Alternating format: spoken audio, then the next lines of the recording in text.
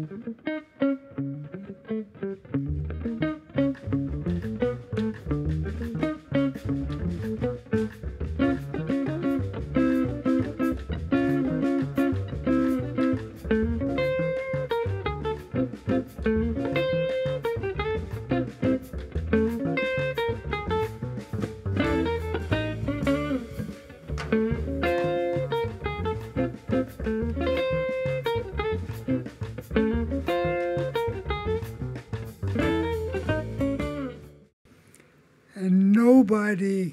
puts more of themselves into a poetry book than Brenda. Her loves, her activism, a kind of a radiantly playful childhood self, even in sad poems, even in mourning. And there's a, her new book is called In a Few Minutes Before Later.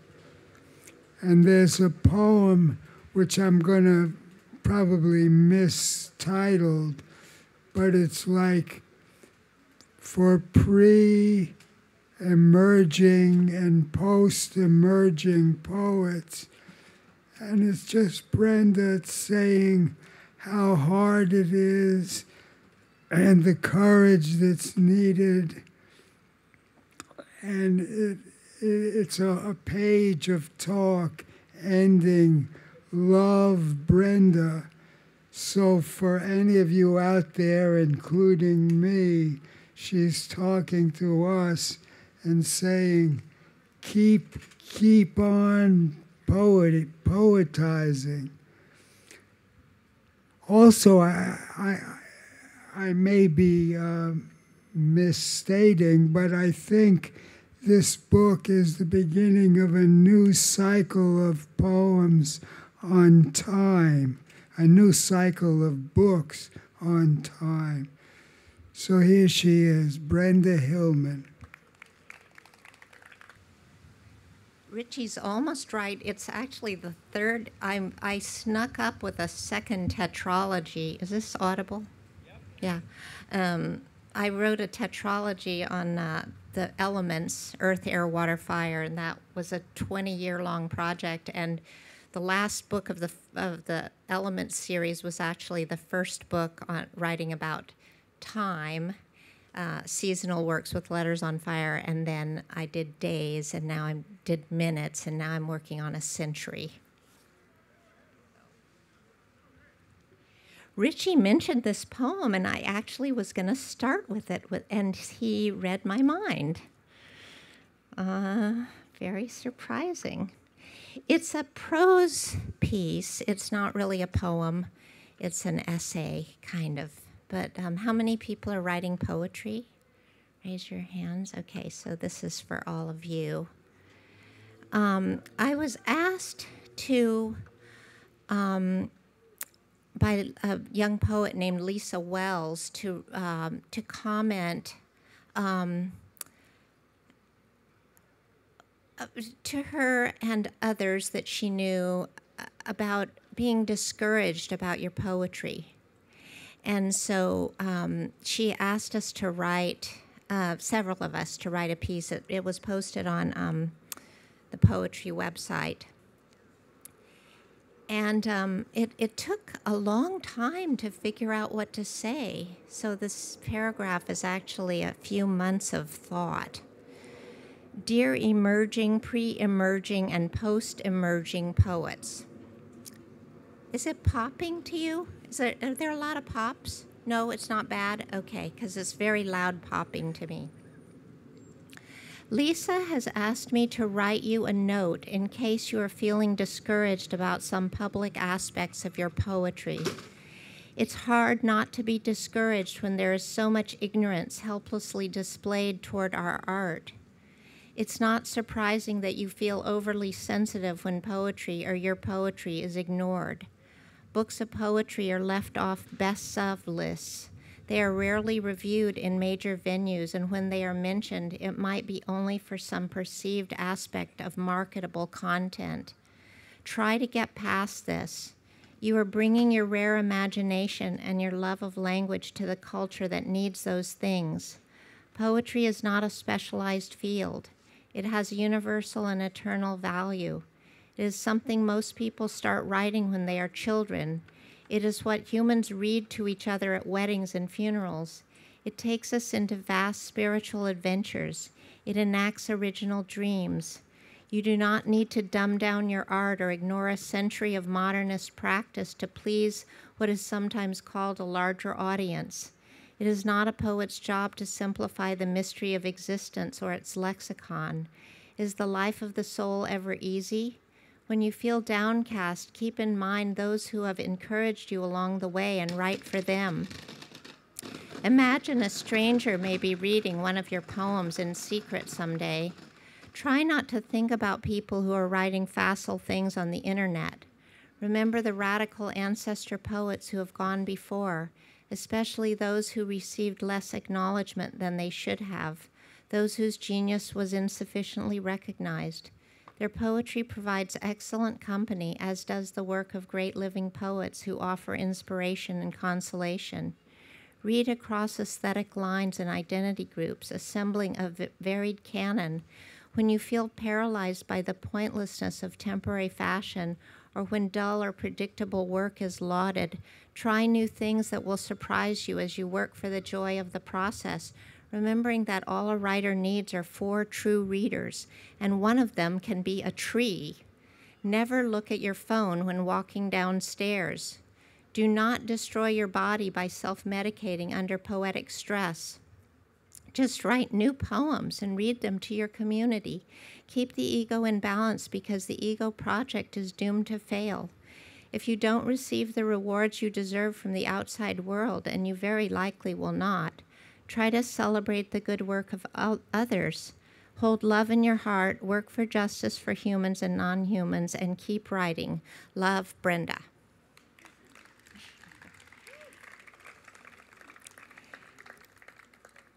So it's in a kind of section. I decided to put a section in this book. It's got a rotting orange on the front, and um, uh, to writers, you know, just to my community of writers. A feeling right before the feeling. So you know when you're going to write into a poem and sometimes there's there's something that you can't get at. So you write into the more immediate place and you think, oh, I'm going to write a poem about that. And it, you, you think it's a feeling you're going to write into, but really there's a feeling right before that feeling. It was for a, um, I'll tell you. At sunrise, the deer eat pieces of the quiet. They eat spaces between the quiet and the sounds. And the numbers on the calendar lie flat in their boxes. They leak through tiny holes in the minutes, evenly so, so evenly an active sense before the sense was made. There now, opposite to set down, the agreed upon, the shape of the obvious drawn by an earlier enchantment before the new anxiety set in. The workers are safe, the terror stilled for an hour, a lover's outline, dreamed or imagined, before you read the one page book again. What was that book? It had no copyright. And what was before? A life, the dazzler, the dark, the singing dust. It turned when you turned. It Orpheus knew that you forgot when you took the bowl of burning time across the room. And if the previous is closer to you now, should you look, it doesn't matter if you do. You carry the sum of it with it out into it. For Louise Glück.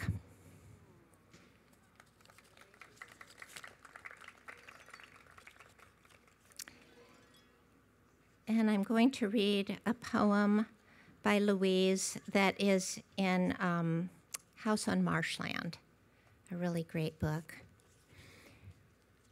All Hallows. Um, it's the first poem in the book. Even now, this landscape is assembling. The hills darken, the oxen sleep in their blue yoke, the fields having been picked clean, the sheaves bound evenly and piled at the roadside among cinquefoil as the toothed moon rises. This is the barrenness of harvest or pestilence.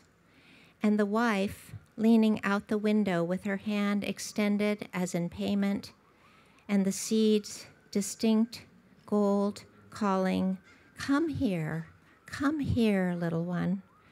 And the soul creeps out of the tree.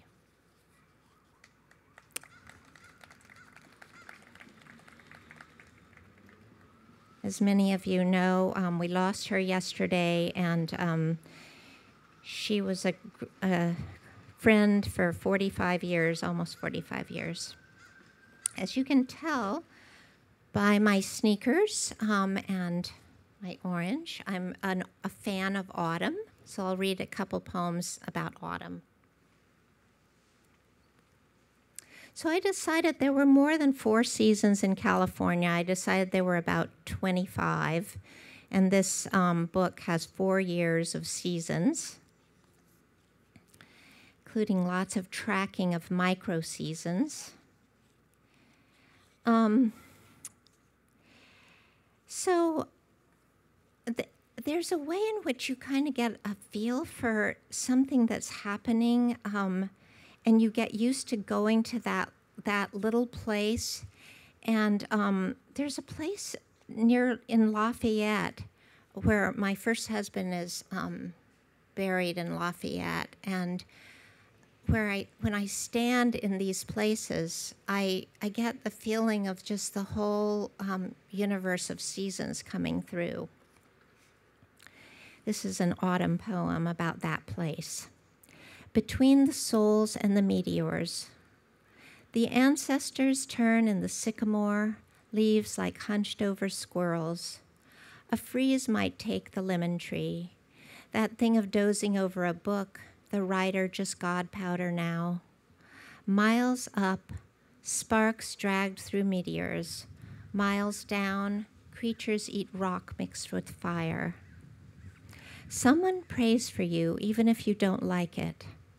Our suicides sleep in the mind of a word. We want our mother not to have suffered. Moonbeam snake before the tan oak shivers. We want our father not to have suffered, or the three cats sprinkled with western dawn. The little baby sleeps on his side, his dream face turned to the woods.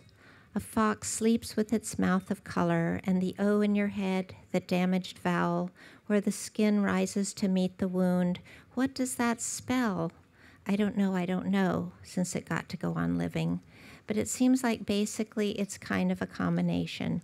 Everything means everything, plus there is no hidden meaning.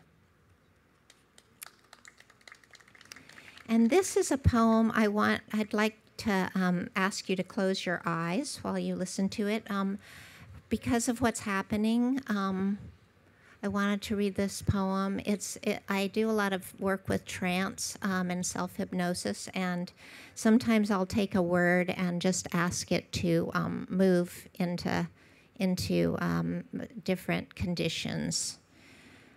Uh, and I was thinking about hate this week, and so much hate and terrible hate.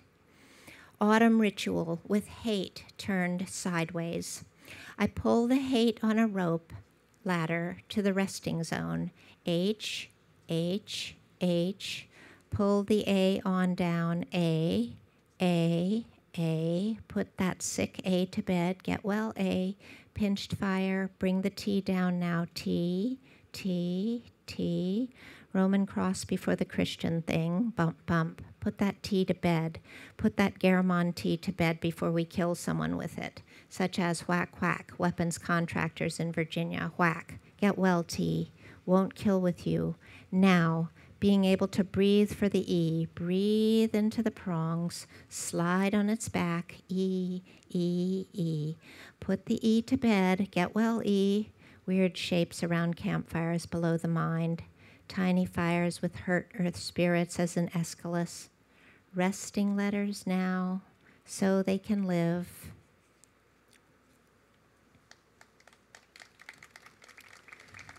Um, and I'll read a brand new poem. I, whenever Bob's in um, an audience, I like to read something he hasn't heard before. So this is a brand new. I'm trying to write about childhood, which I don't write a, about a whole lot, and um, it's hard to write about childhood. This is called Childhood Eternity During Science Class Fragment. The child opened the science book.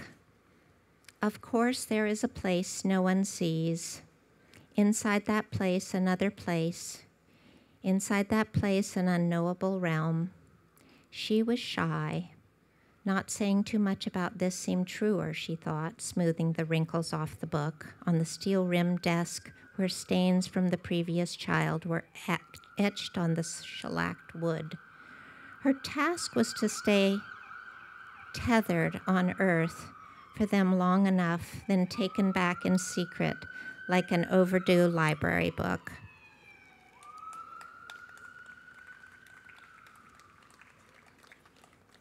And I'll close with a poem um, in extra hidden, uh, sorry, in um, in a few minutes before later, uh, that's in a section of political poems.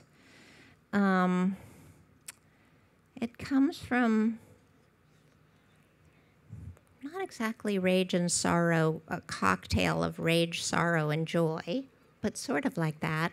There's a place on Telegraph between, um, like between the Hat Shop and Amoeba Records that I love. That it has one of those one of those smell meaning places for me. So this is all of you who might have been around. For all of you who might have been around in 1967, that's the name of the poem, and it takes me about. Uh, eight minutes to read. And so this is the last thing I'll read. Thank you so much for coming and um, for your poems. And um, how many of you have nieces and nephews? Okay, they all need poetry books.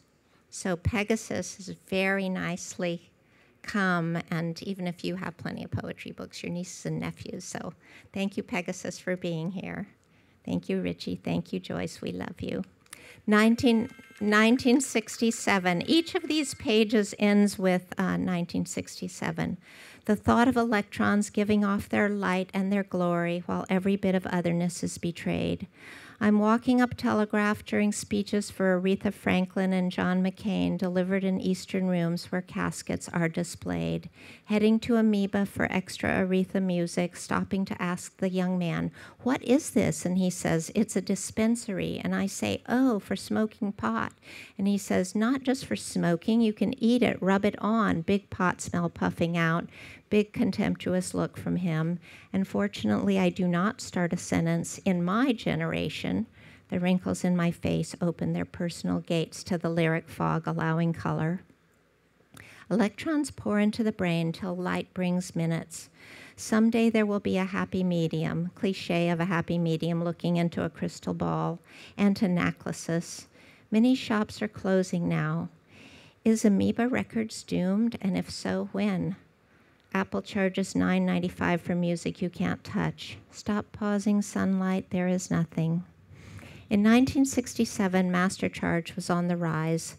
5.7 million holders then. I was in high school. MZ was born that year. Che died in October in Bolivia.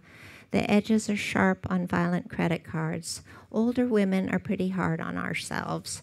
Not that predictions matter, but I never thought I'd be 67. You're not going to be able to save everything. There is pink sunlight with electrons falling during the minutes. We knew little but couldn't imagine killing children for the revolution, not even rich children. So many shops are out of business now. The first draft of the poem flew past as I felt a Western draft. The word draft meant state terror in 1967. The day I started this, a draft came through my wrinkles. Students weren't watching McCain's or Aretha's funeral. Still, getting through the day matters. The young pushed along down Telegraph with electrons streaming through inverted parabolas of their headsets, bypassing their souls into consciousness. They don't seem to mind or feel the rage about the bloated fees to Apple.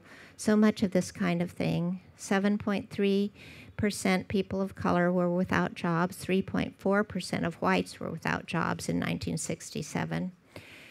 Slick apartments go up in Berkeley while electrons fall apart without commitment to those heavy hadrons. One must have a mind of mycorrhizal netting to regard the chthonic lining of carbon life under the avenue and to behold the universe as a skein of feeling dots where the energy is pure and whispers to the dead. Full of shame, I held the LP with respect by the edges and played it with my friends. Can you even imagine no internet? Respect us, internet. Homoio off rhyme. She when she sang R E S P E C T, even the boys felt it. Creatures in colors dash past the closed shops. Our students dash along their grandparents from Philippines, from China, from Oakland, from Guam. They brush past. There were two, 297 corporate mergers, an increase of 578 from from 1966. These wrinkles on my skin are feared by America. Shall I cut my face behind? Do I dare to be a peach? Electrons speak in negatives at the southern Sather Gate. The pot shop bodyguard showed no respect for an older woman.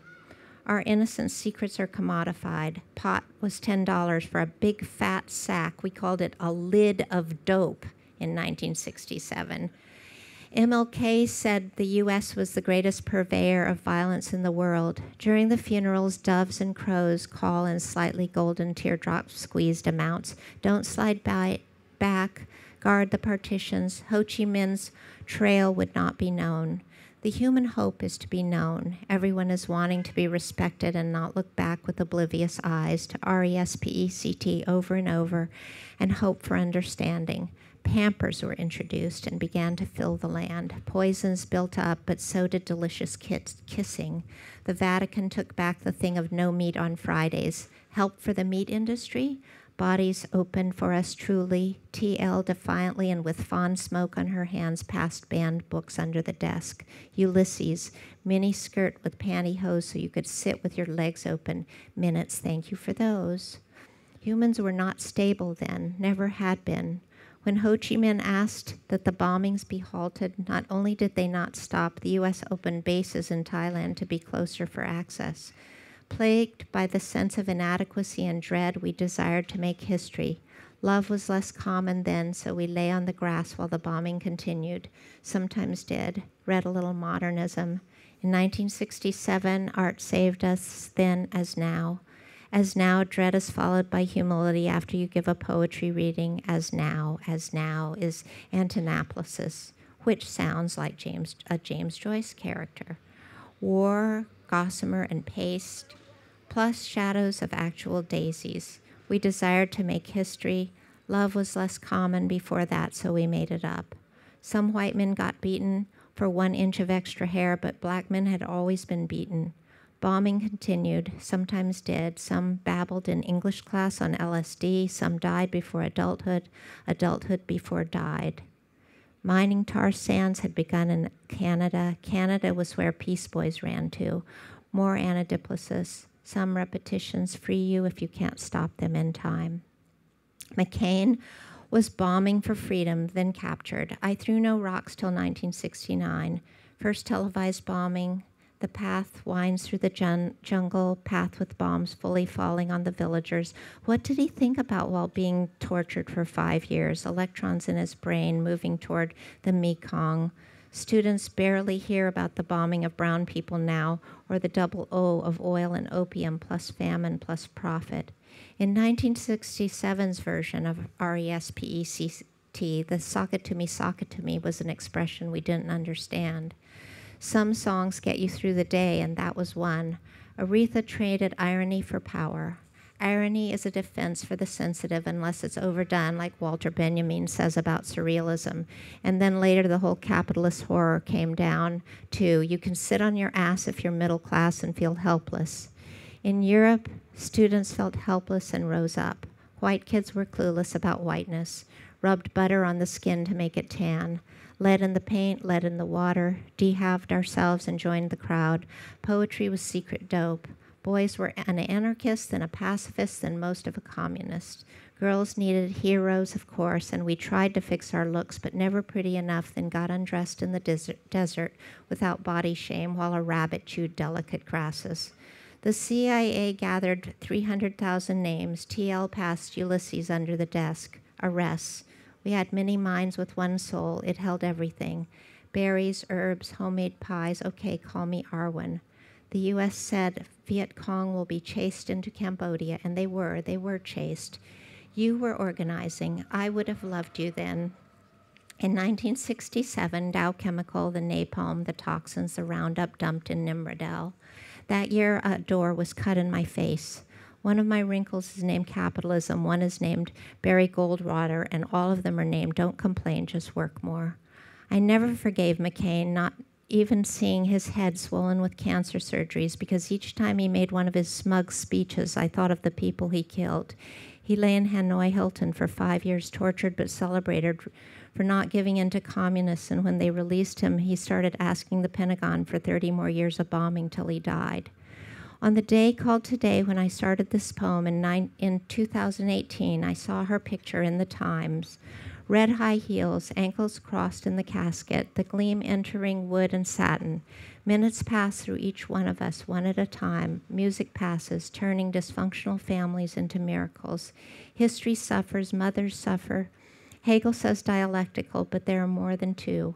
What percent of our 525,600 minutes this year will immediately turn to history? What percent will become radiant, twice fallen infinity? As I walked up Telegraph before the first draft of this, I saw a housefly sitting on a piece of pizza trash, rubbing all of its elbows during Aretha's service, which I watched on my phone. It is not safe to look at your phone while walking. Okay, change the tone, tired Brenda. Give the readers hope. Humans have radiant intelligence. They have a chance. Say, no one is like you. Say, we need others badly. Say, the alleged left has no heroes now. That's why our heroes are electrons and they leap. They leap in their light and their glory. I'm trying to imagine useless revolt. I'm trying to trade resentment for energy and love. We get older, it gets wiser. You and I drive from the west with curry leftovers on paper bags. My tercets have fallen apart, Dante. Little takes, little takes, little take on, takes on history. What shall we do now, young friends? And I say, care, as the earth will return to electrons from which it came. The small rails in this poem seem to be space and time when minutes seem to line up, but then don't. We wrote in our diaries and kept excellent records backward toward history and beside. R E S P E C T, Aretha was teaching people how to spell. Thank you.